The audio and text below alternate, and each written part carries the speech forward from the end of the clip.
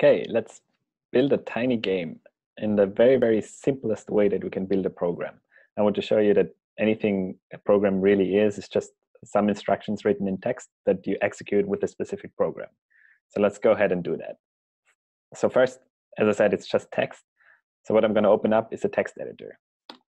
Mac, that's going to be TextEdit, which is just the simplest text editing program that we have and I will press Command Shift T to just convert it to normal text. We don't want anything fancy in there, just text.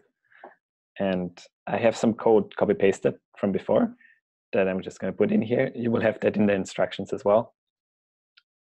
And for this simple version, we that's all we do. Like you see, it's not a lot of lines of code, and you just need to copy paste them for the start. We're going to learn how to write this kind of stuff throughout the course. But now I just want to show you code is text and that can be fun. So take this, copy paste it, and now we want to save this file. I'm just going to put it up on the desktop and call it game.py. py. py is the file extension for Python files. So here we're telling the computer that this text that we wrote in there are Python instructions, and it sh they should be treated like that. And I'm just going to save it right on my desktop. There you go, game.py. There it is.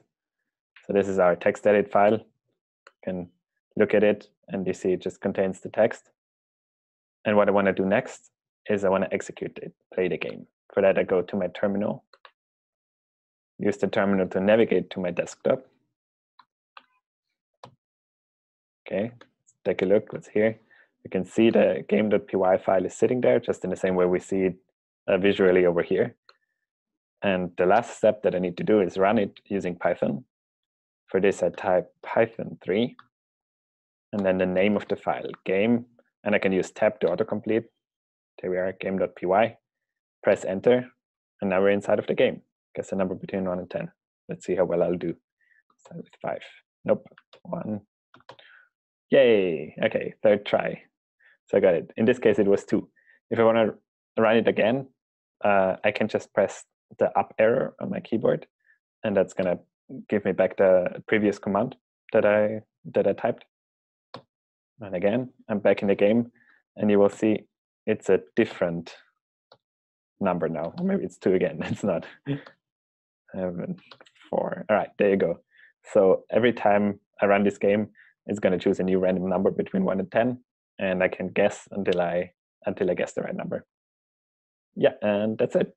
I hope you have fun trying out this little game and just like getting a feeling about the fact that we just we're just putting text into a file and then using a program that translates it for the computer into instructions.